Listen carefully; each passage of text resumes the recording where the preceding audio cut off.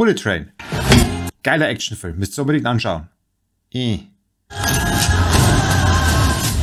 Der Plan war eigentlich anders. Eigentlich wollte ich sagen, also dieser neue Actionfilm mit Brad Pitt, der in einem Zug spielt. Schauen wir mal, ob das was wird. Und dann wollte ich einen tiefen Schluck aus der Tasse nehmen. Mm. Und euch anfangen, ein bisschen was über die Schauspieler, über ein Teil äh, der Trailer und ein bisschen über die Handlung zu erzählen. Also sowas in der Art, ja, es fängt damit an, dass ein Berufskiller mehr oder weniger komische Erlebnisse auf dem Bahnhof hat und in den Zug einsteigt. Some conflicts require a gun. Und einen Auftrag kriegt. Und dass da ein paar andere Typen in dem Zug ein bisschen komisch drauf sind. Small inside voice in here, son.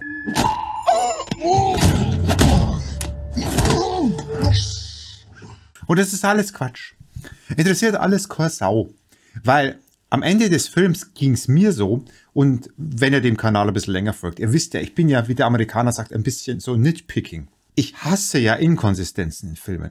Ich hasse ja Logikfehler und sowas. Das ist ganz furchtbar. Und damit meine ich jetzt nicht Continuity-Fehler. Ich komme jetzt übrigens gerade vom Thema ab, mache ich auch gerne. Also Continuity-Fehler ist, was weiß ich, wenn an, in einer einen Szene links am Auto der Spiegel abgefahren ist, in der nächsten ist es rechts. Das ist nicht schlimm, aber schlimm ist, wenn die Logik gebrochen wird. So, ich habe aber die Theorie, dass ein guter Actionfilm, der rasant inszeniert ist, der irgendwie eine Story hat, der man vom Grundzug folgen kann, der sich entweder brutal ernst nimmt und dann in dieser Spur bleibt und das gut realisiert oder sich überhaupt nicht ernst nimmt. Also dass so ein Film dann bei den Logikfehlern gerne mal ein paar Abkürzungen nehmen darf. Und jetzt komme ich zurück zu Bullet Train. Ich habe mich dabei erwischt, dass ich mir gedacht habe, so, geil. Um was geht's hier eigentlich? Ist aber geil. Warum? Ich habe mir nachgeguckt, wer da Regie geführt hat. Und David Leach kennen wir von Fast and Furious, Deadpool, Atomic Blonde, John Wick und Nobody. Muss ich noch was dazu sagen? Hey, this is nice. Also eigentlich nicht. Weil ganz genauso ist dieser Film. Man könnte jetzt noch sagen, na, er hat einen Hauch von Pulp Fiction mit reingemischt. Lemon, where's the briefcase? It was just it. Und ein bisschen was von Jackie Chan. Also jedenfalls auf der Humorseite. Dann mischte das Ganze mit endlos vielen Popkultur-Anspielungen, die ich sicher nicht verstanden habe, alle, mit einem, ja, nennen wir es mal, heite-ironischen Sichtweise der japanischen Kultur, weil das Ding spielt ja in einem Bullet Train. Also japanischer Hintergrund. Oh, no, thank you. You know what? Do you have uh, anything sparkling? Und wenn euch das abstrus vorkommt, solltet ihr den Film nicht gucken.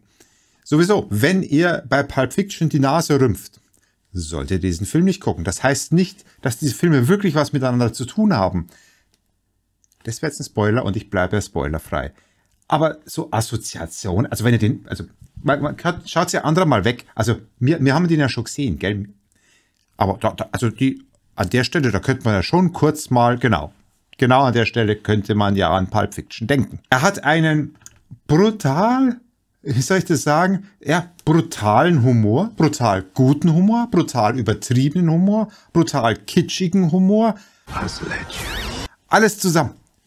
Er hat geil gemachte Szenen, geile Animationen und manchmal Szenen, wo man sich denkt, ach, you're fucking crazy.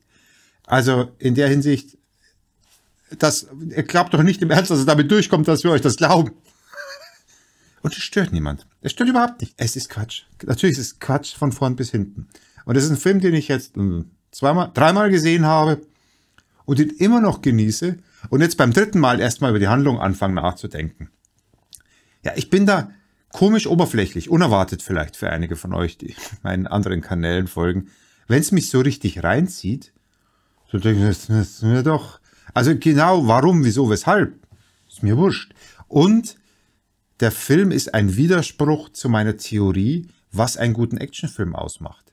Ich sagte ja, es ist am besten, wenn du eine Figur hast, der du von A nach B von mir aus mal über dieses übliche, über die Katharsis und dieses Zweifeln an sich, bla bla bla bla, also über, wenn du dieser Figur über diesen Punkt drüber folgst, von mir aus. Aber man möchte eigentlich immer wissen, Warum will dieser McLean diese Terroristen? Achso, weil sie Terroristen sind. Damit ist es klar. Ne? Also in dem Fall ist das Setting klar und damit auch weiß jeder, was passieren soll. In diesem Film, das müsste ich jetzt arg spoilern, aber ich sag mal spoilerfrei, funktioniert das nicht mehr. Also diese Annahme funktioniert nicht. Ja, da müssten wir jetzt mehr im Detail drüber reden. Warum? Aber man kann so viel sagen, es gibt mehrere Protagonisten. Und die Sache mit Gut und Böse, die ist ein bisschen schwierig. Also das zu definieren ist etwas schwierig. Okay, ich belasse es mal dabei.